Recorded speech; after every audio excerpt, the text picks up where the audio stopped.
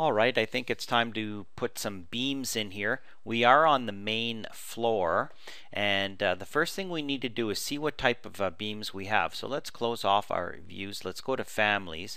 Let's go down here to structural framing. And all we've really got in there is a wide flange W12 by 26. That's what the template file came with. Uh, trusses, Pratt Gable 12 inch, not much in columns. So we need, what we're going to go do is load in a, um, not a beam system, we're going to load in uh, some beams and some posts. And we're going to do it in wood. So we want to go do that. So what we're going to do is just go to our insert tab and we're going to say load family. Basically load family. Search, uh, sort by alphabetical, invert that, double click on structural. Then we go to framing and then we go to wood and we want uh, a glulam western species I suppose. Looks good. And what we want to do then is I think that's the only one. It's going to ask us for some sizes.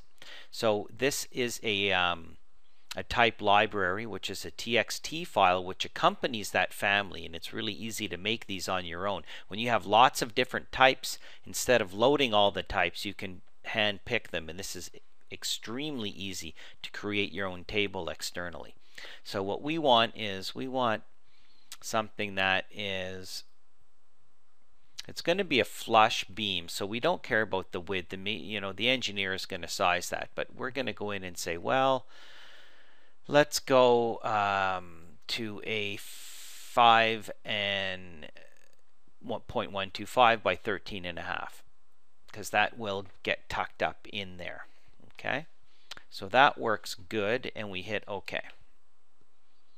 So now we can, that beam is now loaded, structural framing, and now we have that, that beam inside of there.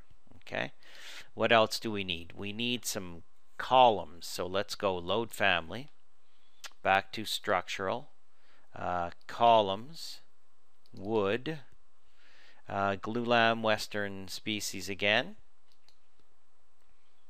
And let we our walls, the core of our walls are four inches, so we can't go more than four. What do we have there? We have a 3.125 by 27. Okay hit OK. And if we need a bigger column, we could have also changed the size of these walls. So now under columns, we have a new column. You can pick or size whatever you know you want, okay, framing wise.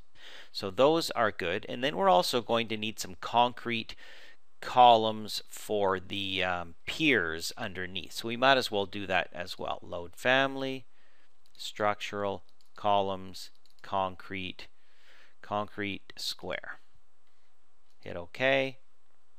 And that one just comes in with what?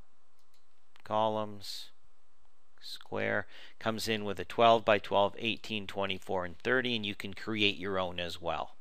So that is all I need for now. So I'm going to say OK. So now I'm going to go inside of here, and I'm going to uh, go to my structural tab, and I'm going to draw a beam.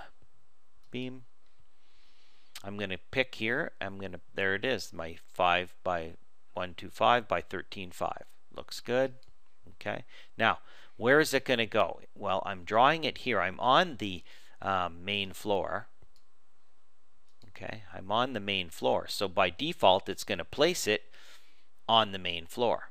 Okay. And it says here, oh, click in here. Let's try that again. Beam. Okay. As I draw it, it says top of second floor. I think because I might have been playing around with it beforehand. So the fact is what we need it to do is we need it to be top of second floor minus three quarters of an inch. Okay, let's hit escape and stop this for a second. Okay, let's go have a look at our cross section here. Okay, we're about to draw a flush beam right inside of here. Okay, there's our top of second floor. Okay, and there's where our beam's going to go right inside of this space right here okay? And then we're going to have another one over here, top of this one. and that must be going through a door. Yeah, we're seeing some framing. So there's the two beams we're about to draw. Okay, and it's easiest to draw it from the main floor, but it's not going to be on the main floor. It's going to be above the main floor, right? So here we go. Beam. Pick your type.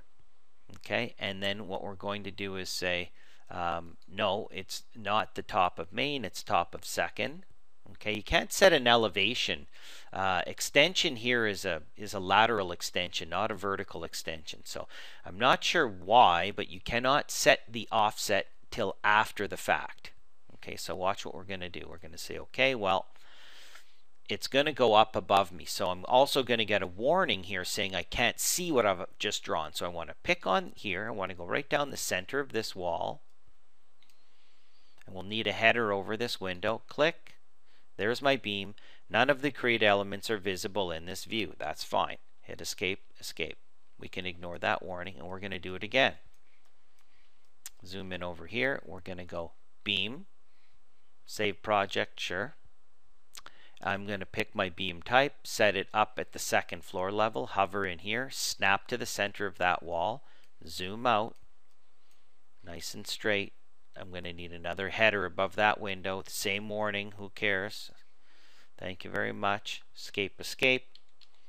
And now I double click on my section and I zoom in and there's the beam I just drew. So that beam's okay, but the problem is I need to set this. See this offset? Minus 0.75. Actually, I yes, minus 0.75 inches. Okay. And I'm going to go Control C because you can slope it by offsetting either end. So Control C and then Control V. Boom. Now that beam is down inside of there. I've got my thin lines on. If I do TL, you'll see thick lines there. Okay, so there's my beam there, and then this one's the same thing. Going to go into here and change this Control V minus 0.75, Control V minus 0.75, and my beam moves down. Okay, there's my two beams. So let's go have a look at that in 3D. Okay, Shift middle mouse button, grab this, hide it hide the element. Uh, let's let's hide all this stuff. We're learning here. Uh, let's hide the elements. Okay, and click on here. And in fact, if I just click on it, my floor goes transparent, and there's my beam. Okay, now we're going to add in some posts. We'll put another beam underneath. That's it for now.